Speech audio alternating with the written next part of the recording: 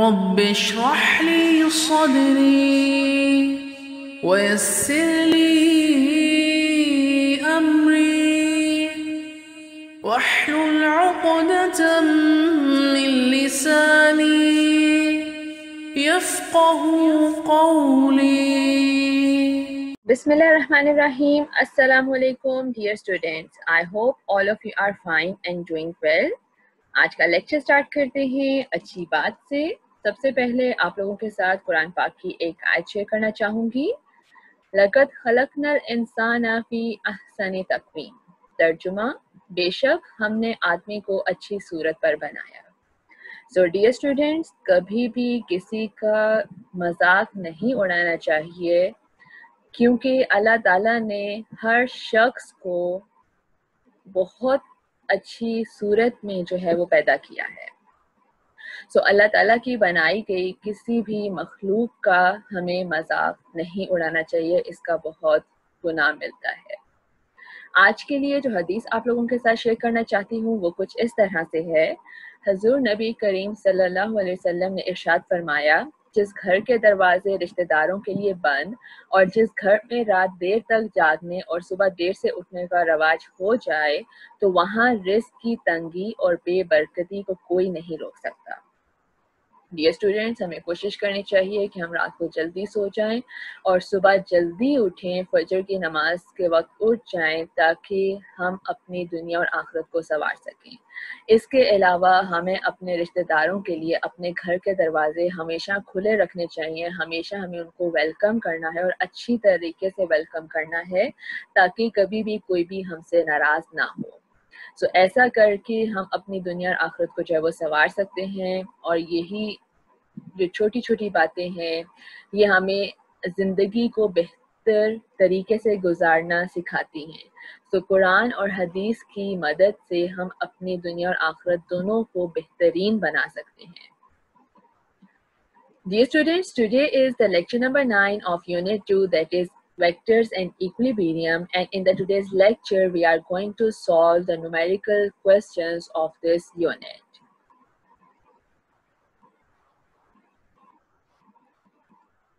Dear students, before going to start the numerical questions, let us discuss the formulas which we have learned in this unit. First of all, in this unit, we have learned about the vector quantities and the vector quantities are the such quantities which have the magnitude and the particular direction. So a magnitude along with the unit vector give rise to the vector quantity. And then we have studied about the splitting of the vector into its rectangular component as the magnitude of ax will be equals to a cos of theta, the x component of the vector a, while the y component of the vector a will be equals to a sine of theta. It is the splitting of the vector a into its rectangular components as ax and ay. Then we have studied how to find out the resultant of the vectors from its rectangular components if we want to add the vectors.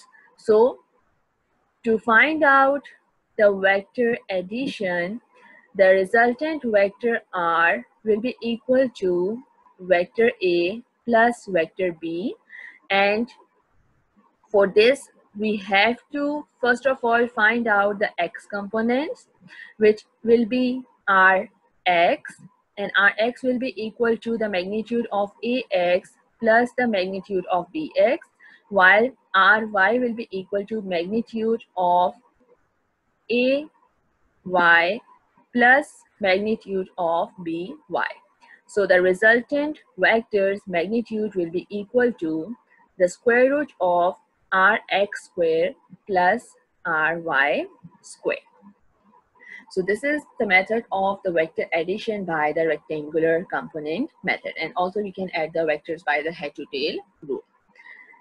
Then we have studied about the dot and the cross products in which we multiply more than two or two vectors together. So there are two types of the vector multiplication, either the dot product by which we get a scalar quantity. So A dot B is equal to AB cos of theta. And since it is a scalar quantity, so it does not have any direction. And the second type is the vector product, the cross product in which the two vectors when multiplied, we get the result as a vector quantity. So it has a magnitude along with its direction. Then we have studied about the term torque. The torque is the cross product of the position vector into the force. So the torque will be equal to RF sine of theta into the unit vector. Dear students, these are some of the formulas which we have learned in this unit and we will use these formulas while solving the numerical questions. Question number one is, a person throws a ball straight up with a speed of 12 meters per second. If the bus is moving at 25 meters per second, what is the velocity of the ball to an observer on the ground? Dear students, سب سے پہلے ہم لوگ اس question میں given quantities کے جو vectors ہیں ان کو ایک rough sketch کے according جو ہے وہ draw کریں گے جو ball ہے उसकी डायरेक्शन स्ट्रेट अपवर्ड है और उसकी जो स्पीड है that is 12 meters per second. So the ball is going in the upward direction with the velocity of 12 meters per second while the bus is moving at the speed of 25 meters per second, it could be either move towards the right or towards the left. So let us consider the bus is moving towards the right direction. So if the bus is moving towards the right side in the horizontal direction, so the velocity of the bus is equal to 25 meters per second. So these are the two vectors by which we have to find out the velocity of the ball with respect to the observer which is present on the ground. While the person who threw the ball, he is present on the moving bus. So we have to add these two vectors by the head to tail rule. So by adding these two vectors by head to tail rule, the velocity of the bus, the second vector tail will be placed on the head of the first vector so the velocity of the bus, and then we can find out the resultant vector by joining the tail of the first vector with the head of the last vector. So this will be the resultant velocity of the ball to an observer on the ground. And its direction will, also be measured with respect to the positive x-axis. So by using the Pythagoras theorem, the resultant VR will be equal to the square root of V bus square plus VB square, the velocity of the ball. So the velocity of the bus is 25 meters per second square plus the velocity of the ball is 12 meters per second square. So if you take the square of these two quantities and the square root then your answer will be equal to 27.7 meters per second or approximately you can write down this answer as 28 meters per second. And to find out the direction of the resultant velocity, we use the tangent ratio. Theta is equals to tangent inverse perpendicular over base. So the perpendicular side is velocity of the ball while the base is the velocity of the bus. So by substituting the values in this formula, we can be find we can find out the direction of the resultant velocity of the ball with respect to an observer on the ground so the velocity of the ball is 12 while the velocity of the bus is 25. So dividing 12 by 25 and then taking the tangent inverse of this value, we can find out the angle theta approximately equal to 26 degree. So the magnitude of the resultant velocity is equal to 28 meters per second, while its direction with respect to the positive x-axis is 26 degree. So this is the velocity of the ball to an observer on the ground and this will be its direction. Question number two is, a football leaves the foot of a punter at an angle of 54 degree positive x direction at a speed of 21 meters per second. Determine the horizontal and vertical component, components of the velocity. In this question, the vector's magnitude and its direction is given and we have to find out its horizontal and vertical component. So the football leaves the punter at an angle of 45 degree with respect, sorry, it's 54 degree with respect to the positive x axis and the speed is 21 meters per second. So we have to find out its x and y component. So the velocity magnitude is 21 meters per second while the direction is 54 degree with respect to the x-axis. So to find out the x component, it will be equal to v cos of theta, while the y component vy will be equals to v sine of theta. And if you substitute the values, v is 21 cos of 54 degree, while vy is 21 sine of 54 degree. So the 21 cos of 54 is equal to 12 meters per second and 12 meters per second will be the x component of the velocity while the y component will be 21 sine of 54 and it is equal to 17 meters per second. So this is how we can find out the horizontal and the vertical components of the velocity if the velocity, magnitude, and the direction is given. So the x component will come out to be 12 meters per second, while the y component is equal to 17 meters per second. Question number three is, a 1.84 kilogram school bag hangs in the middle of a clothesline, causing it to sag by an angle of 3.50 degree. Find the tension T in the clothesline. Now, dear students, in this question, the cloth line is making an angle of 3.50 degree with the x-axis. So this angle is 3.50 degree on the both side. And this angle is due to the presence of the bag whose mass is equal to 1.84 kilogram.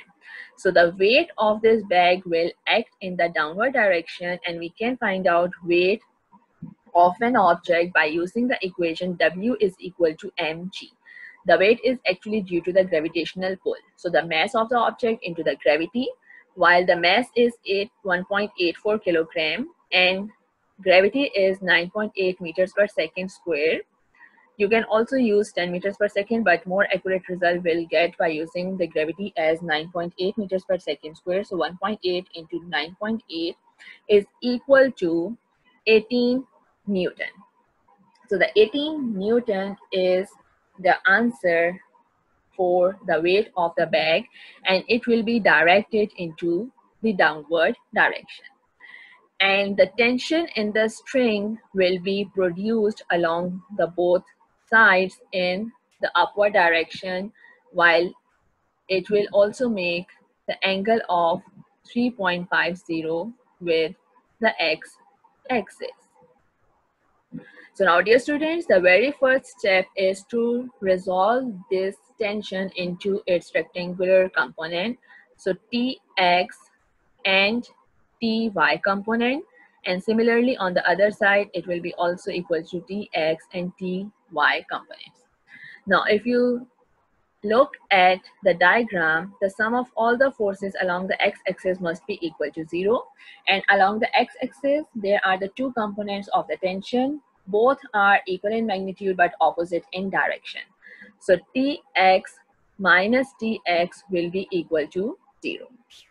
So hence the first condition of the equilibrium is satisfied. Now by using the second part of this condition according to which the sum of all the forces acting along the y-axis must be equal to zero. So there are three forces that act along the y-axis and these are Ty plus Ty and minus weight of the bag. Since the weight is acting in the downward direction, so we will consider it with the negative sign while the tension in the strings on the both sides will be in the upward direction. So we take the Ty component of the tension with the positive sign. So Ty plus Ty minus W is equal to 0. So from this we get 2Ty is equal to W or the Ty component will be equals to W by 2. But we want to find out the tension T in the string instead of its Y component. So the Ty component will be equal to T sine of theta. And in this case, the angle theta is 3.50. So from this, we get T sine of 3.50 degree equals to 18 divided by 2 or T is equal to 9 sine divided by sine of 3.50 degree and from this the tension in the string will be equal to 148 Newton. So the tension produced in the string will be equal to 148 Newton. So this is the answer of this question. Question number four is, find the magnitude and direction of the vectors represented by the following pair of components. The pair of the components is given, if AX and AY components are given, and we have to find out the magnitude of the vector A and its direction. So first of all, we will solve the part A. AX is equal to minus 2.3 centimeter, while AY is equal to 4.1 centimeter. And these are the magnitudes of these components. To find out the magnitude of the vector A, we take the square of the AX plus AY and then the square root of the sum. So by substituting the values of the x and the y components in this equation, we get minus 2.3 square plus 4.1 square and the square root. And the magnitude of this resultant vector A will come out to be 4.7 centimeter. And to find out the direction, we use the tangent ratio. Theta is equal to tangent inverse AY divided by AX while AY is 4.1 and AX is minus 2.3. So now in this case, this vector result, resultant vector is present in the second quadrant because its x component is negative and y component is positive. So this angle theta will come out to be 4.1 divided by minus 2.3 and tangent inverse and it equals to minus 60.7 degree. Or you can just take this angle as 60.7 degree. But this is not the final answer. Since this vector lie in the second quadrant so we have to Subtract this angle from 180 degree to get the final answer, to get the angle from the positive x-axis. So 180 degree minus 60.7 is equal to equal to 119 degree or you can also take 0.3 degree. So this is the answer of this question. the vector's magnitude is 4.7 centimeter and its direction is 119.3 since it lies in the second quadrant so we have to subtract the angle from 180 degree now to solve the second part of this question x and y components are given. Now in this case, x component is positive, which is 3.9 meter, and the y component is minus 1.8 meter. So now this vector will lie in the third quadrant. Sorry, not in the third, but in the fourth quadrant because x component is positive while the y component is negative. So first of all, we will find out the magnitude of the vector A by using this similar formula ax square plus ay square and the square root while ax is 3.9 meter square and ay is minus 1.8 meter square. So the resultant vector's magnitude will be equal to 4.3 meter. And to find out the angle, again, we will use the tangent ratio, which will be equal to ay divided by ax. And ay is equal to minus 1.8 while AX is 3.9. So 1.8 divided by 3.9 and then taking the tangent inverse of the answer, we get theta as 24.7 degree.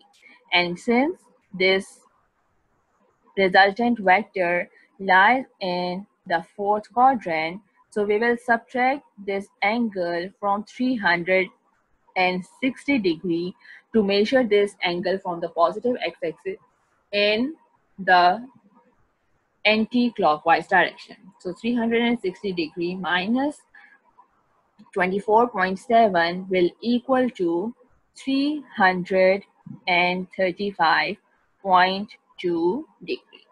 So for this case, the resultant vector's magnitude is 4.3 meter, while its direction is 335.2 degree.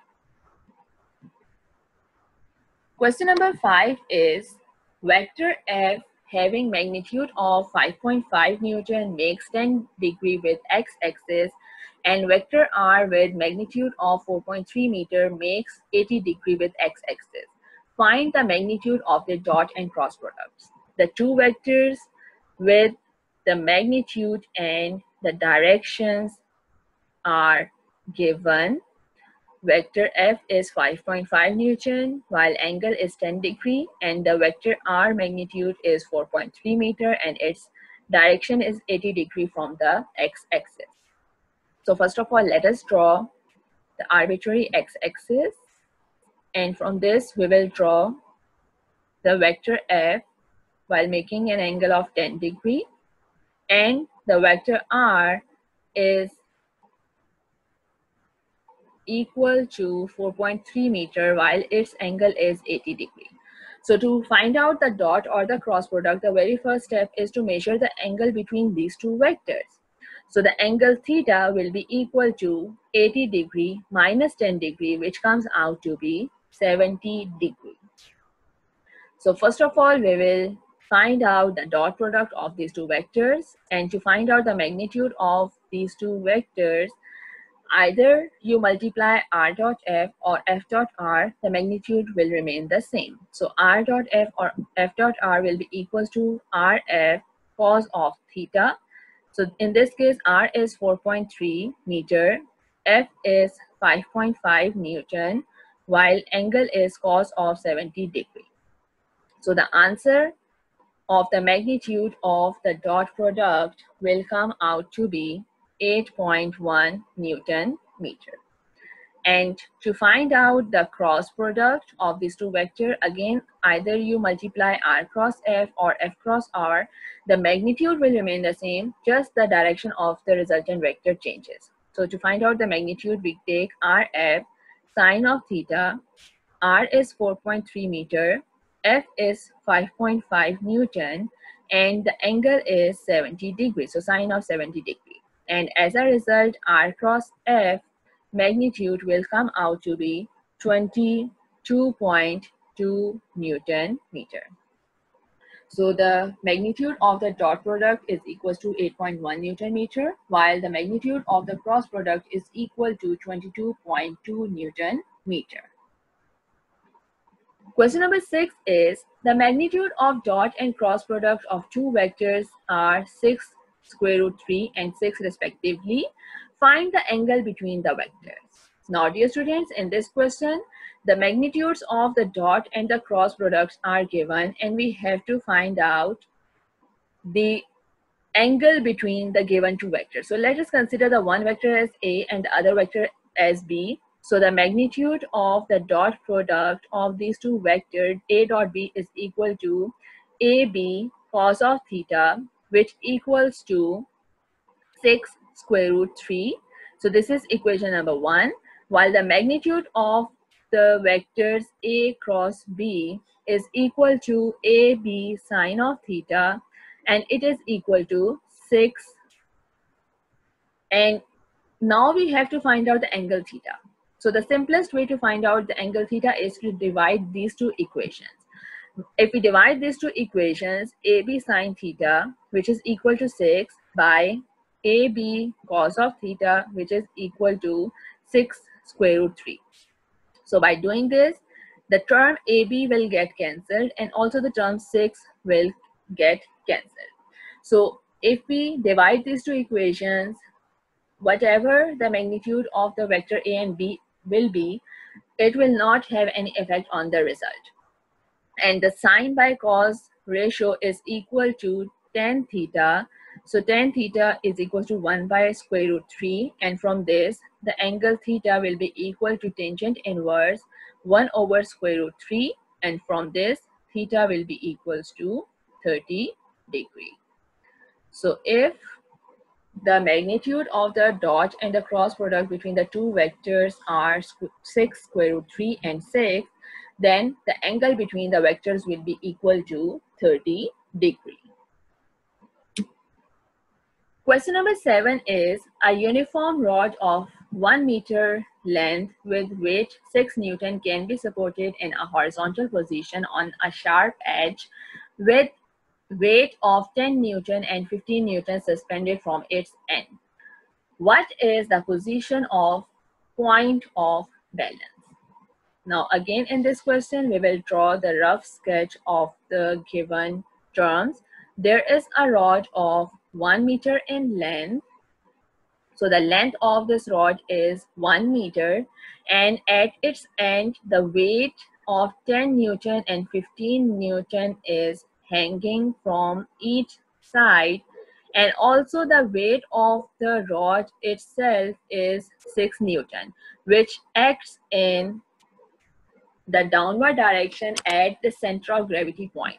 So for the uniform rod, the center of gravity point will be exactly the half of its length, which will be at the distance of 0.5 meter from each side.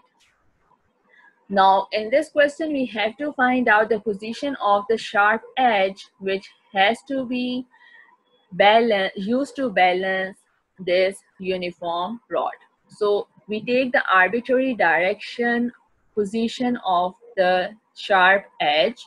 So let us consider the sharp edge position at this side. While its distance from one of the end will be x. So now we have to find out this distance x. Now for this, first of all, we have to find out the direction and the magnitude of the force which will be produced on this sharp edge. So let us consider this force as in the upward direction.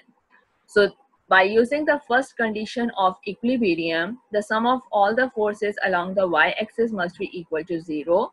Since there is no force acting along the x-axis, so this equation is already satisfied. So the upward force F and the, there are three downward forces. So the upward force will be taken as positive while the downward forces will be taken as negative. Minus 10 Newton, minus 6 Newton and minus 15 Newton will be equal to zero. And from this, the force produced on the sharp edge will be equal to 10 plus 6 plus 15 which equals to 31 Newton. So the force produced on the sharp edge will be equal to 31 Newton. And now by using the second condition of equilibrium according to which the sum of all the vector torques acting on the system must be equal to zero or we can say that the clockwise torque must be equal to the anti-clockwise torque. And to write down the equation for the torque we must have to consider the axis of rotation and the choice of the axis of rotation is up to us. So we can select any one point as the axis of rotation from which we can calculate this distance x for this sharp edge. So let us consider this point of the 15 Newton as the axis of rotation so that we can find out this position x. So if we consider the 15 Newton as the axis of rotation, then with respect to this, we will write down the equations for the torque. The torque is the product of the moment arm and into the force. So first of all, for this force F, the rotation will be in the clockwise direction. So the clockwise torque will be equal to the moment arm is X while the force is 31 Newton.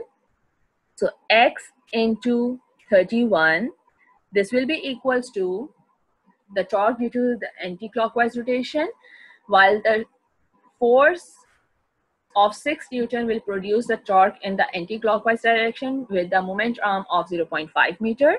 So 0.5 into 6 plus the torque due to the force of 10 Newton will also will be in the anti-clockwise direction with the moment arm of 1 meter from the axis of rotation. So 1 into 10 will be the anti-clockwise torque.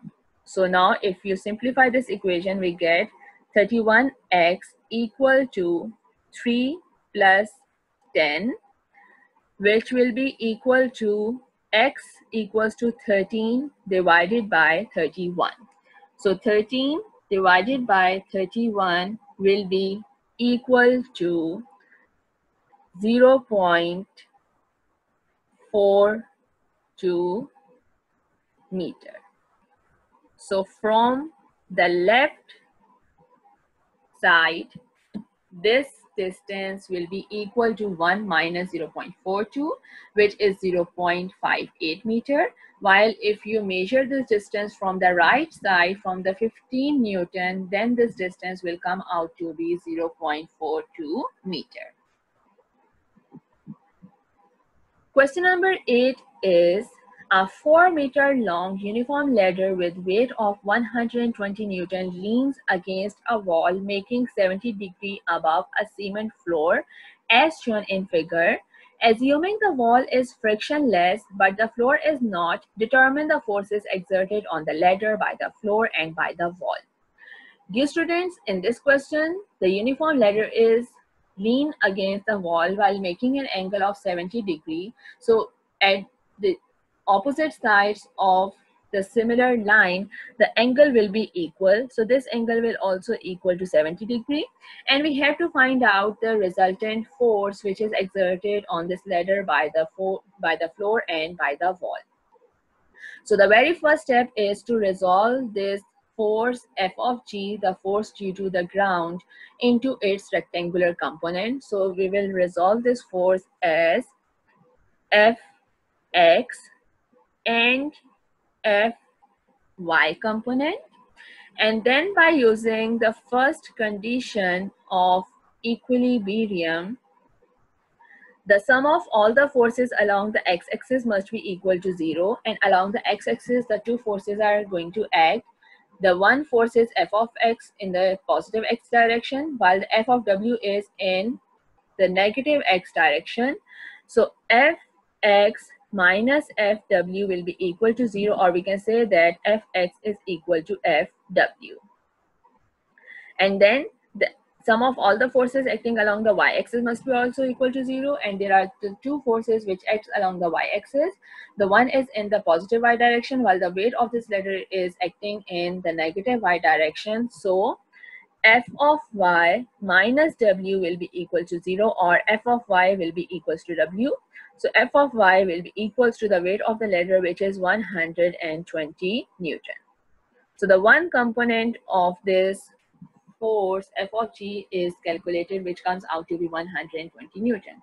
Now the main point in this question is to find out this force f of x which equals to f of w and we are doing this so because the f of g will be equal to the square root of f of x square plus f of y square.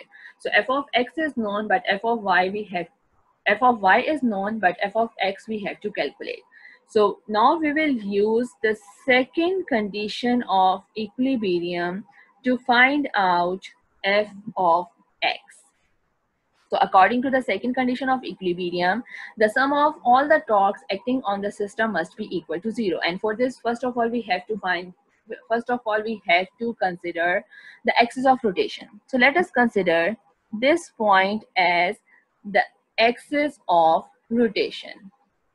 So if this point is axis of rotation, then according to this, we have to write down the equation for which the torque clockwise torque must be equal to the anti-clockwise torque.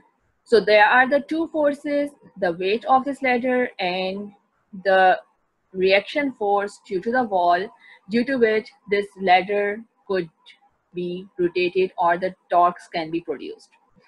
So first of all, we have to find out this angle of the weight which the ladder is going to make.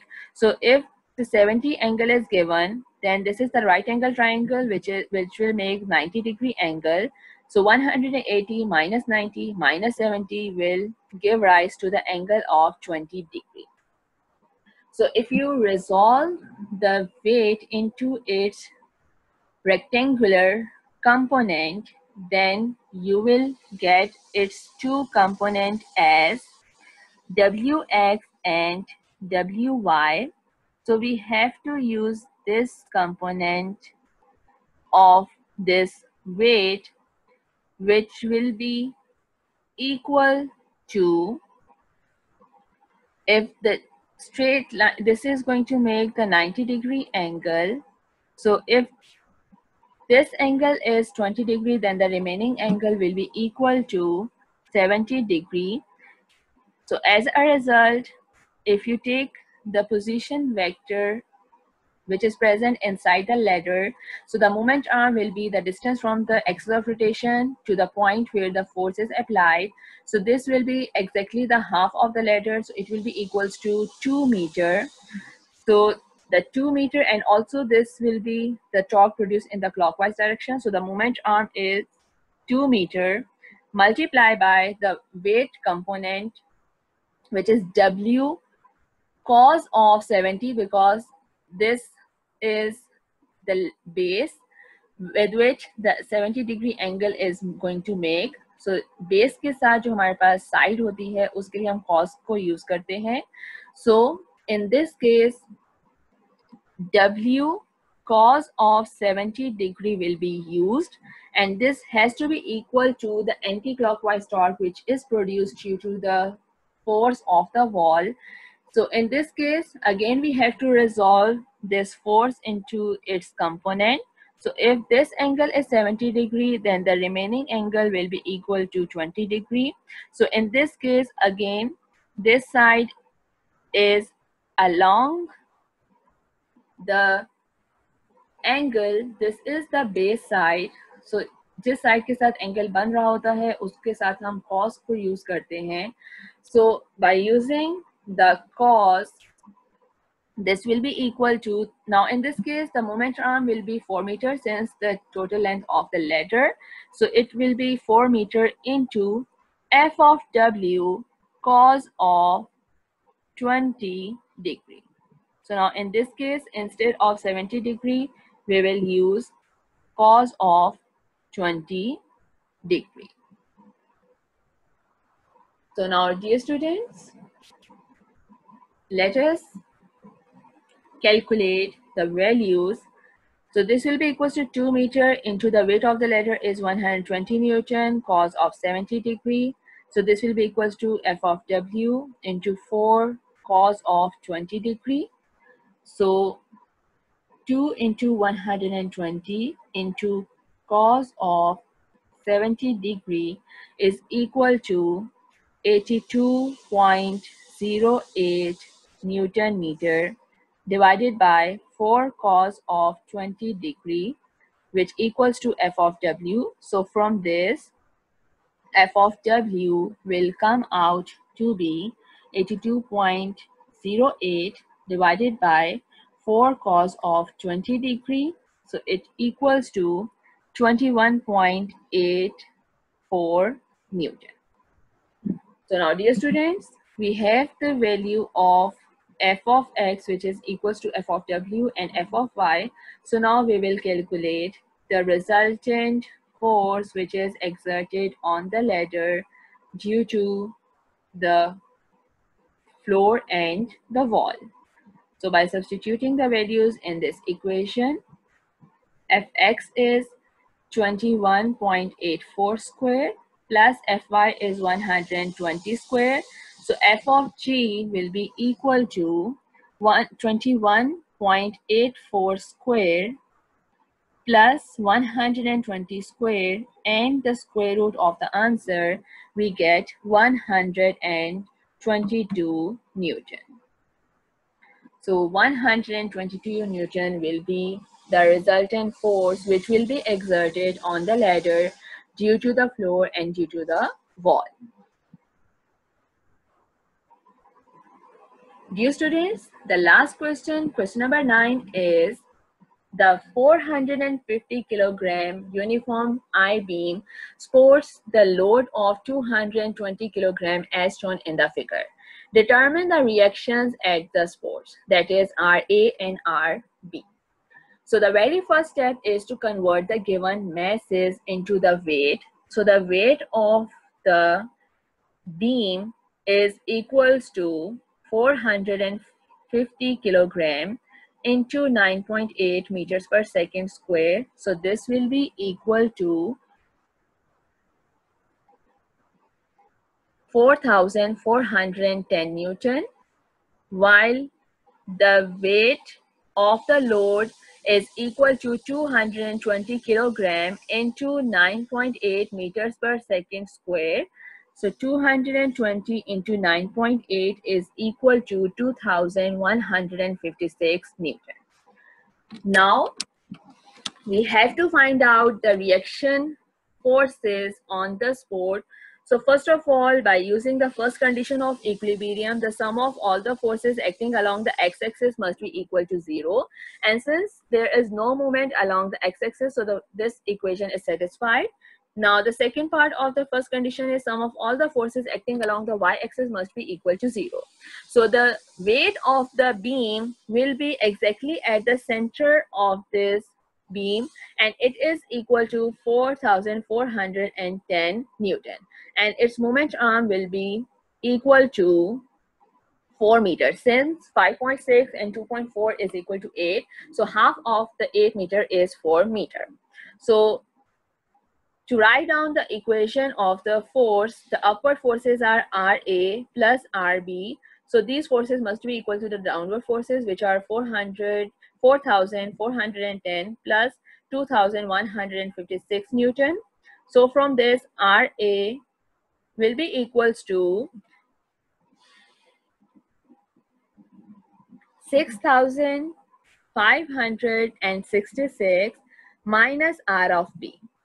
From this we get the first equation. Now by using the second condition of equilibrium which is the sum of all the torque acting on the body must be equal to zero, we can be able to find out any one of the force RA or RB if we consider any one of the force as the axis of rotation. So let us consider R A as the axis of rotation. So with respect to this, we will write down the equation of the torque for the clockwise and anti-clockwise torque. The clockwise torque will be produced due to the weight of the beam and due to the load which is attached to this support and the anti-clockwise torque will be due to the support RB. So the clockwise torque will be equal to 4 meter into the weight which is 4,410 Newton plus Um, 5.6 moment arm into 2,156 Newton and this must be equals to RB into 8 meter. So while solving this equation, the reaction force which is exerted at the position B will come out to be 3714 Newton. So if we substitute this value in the equation number one, then we can find out the reaction force produced on the spot A. So RA will come out to be 6,566 minus 3,714 and it comes out to be 2,852 Newton. So these are the two reactions which are produced at the sports A and sport B. Dear students, now this is your, your homework time and your today's homework is you have to solve the numerical questions of this unit in your files by your own. This is the end of the today's lecture. Thank you so much. I hope all of you have enjoyed the today's lecture. For any kind of queries, you can write your question in the comment section. See you in the next video with a new topic. Till then, take care and Allah Hafiz.